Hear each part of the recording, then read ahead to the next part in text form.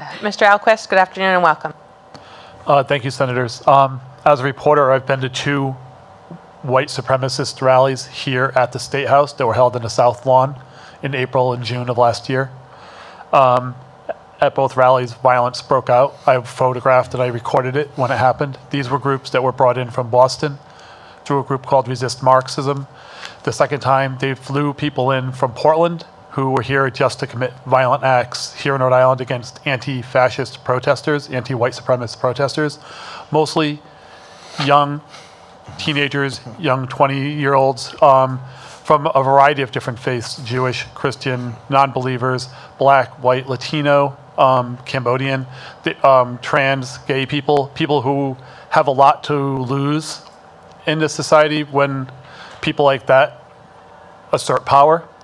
Um, I know a little bit about these white supremacist groups because I've also been to the rallies they had in Boston, including the one where tens of thousands of people went out to counter a similar rally in Boston. And there was no violence in there because they were so vastly outnumbered.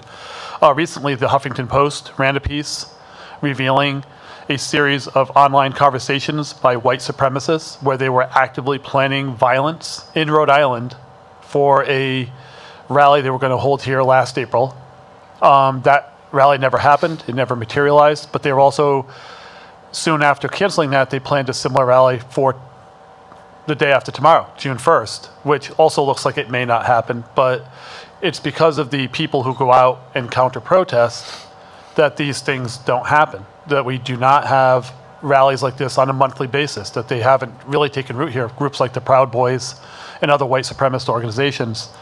Um, I just want to be clear. Um, I'm sorry.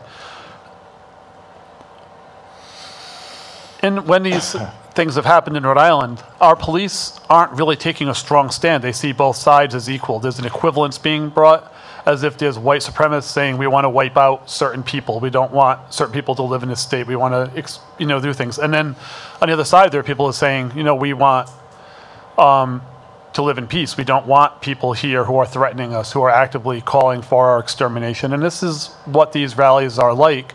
They don't take off very well, but they're very dark, very hateful.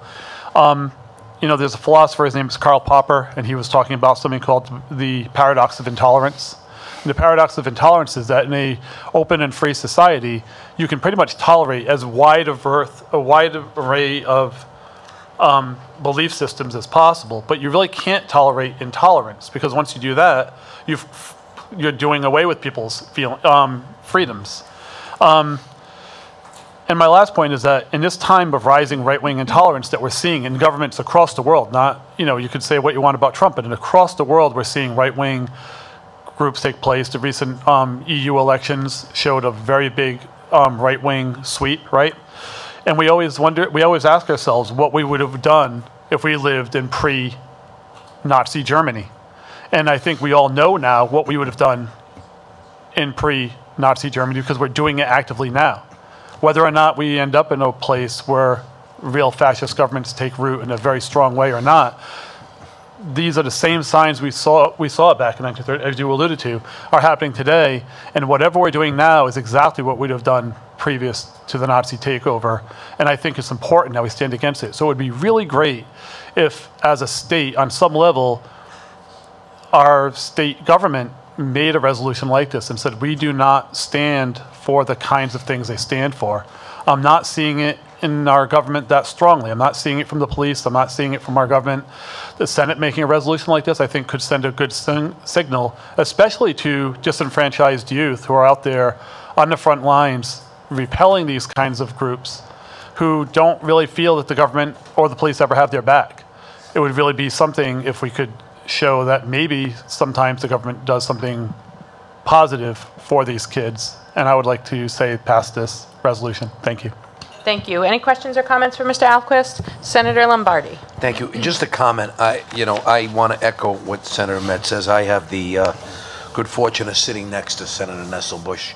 So we argue, we joke, we uh, debate, and uh, but at the end of the day, we're very good friends, and uh, I cherish our friendship very much. And it's troubling to me. It's troubling to me that um, that we've got to actually consider drafting a resolution like this in 2019.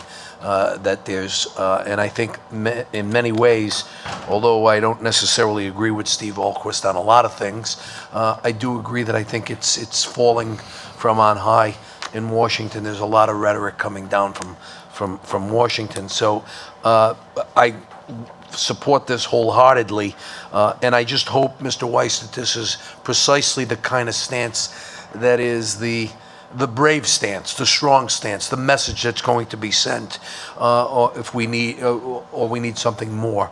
Uh, uh, I I think that it's particularly poignant that this comes at a time when uh, those young Jewish Orthodox students saved a man from, from drowning, uh, and when they pulled the man out, he had a swastika on a tattoo on his arm, and they asked uh, if they had uh, given the choice. They said they would not have changed their mind. They would have done what they did, and I think that that's a symbol of exactly the type of tolerance that we're supposed to have in this country. And uh, unfortunately, it's not there. Thank you, uh, Senator Metts. Uh, Thank you. Senator Metts moves uh, Senate Resolution 829, Substitute A, second by Senator Lombardi. All those in favor signify by saying aye. Aye. Opposed, resolution passes.